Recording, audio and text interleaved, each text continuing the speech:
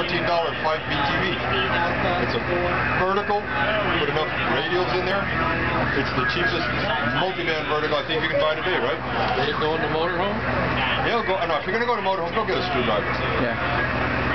Yeah, that's what you want. screwdriver. Uh, but not that Yeah, one. because then you can use it in your home. You get an extra mount. You put it on a post. You put it in your backyard. You can put it on the car too. You put it anywhere you want, man. Like the what's the sidewinder? The side, the. Sidekick? The sidekick. Tiny Yeah. little antenna. Well, the bigger the coil, the higher the Q. The higher the Q, So, the so more bandwidth. the the more well, the more radiation resistance you're going to have. You want radiation resistance. Tell me what I'm, I'm writing down.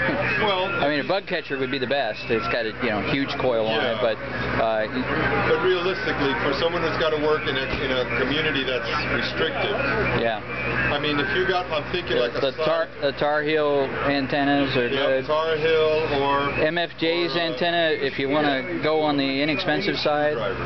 MFJ makes a screwdriver that's got a whole kit for like 500 bucks. They're a lot easier to deal with than some of the other Now you manufacturers. could just, I mean, there's antennas, any antenna you want. There's a bunch of, there's a low-cost vertical antenna that, that you can get, I want to say from MFJ as well, which is a double C-stack. And if you have a tuner, it doesn't matter. All you need is something that, that'll be radiating. So I wouldn't go spending a lot of money to start. Because simply, you can put up, you can put up a dipole and work perfectly. In the attic, you can put it without any problems. No, because, yeah. I don't like adding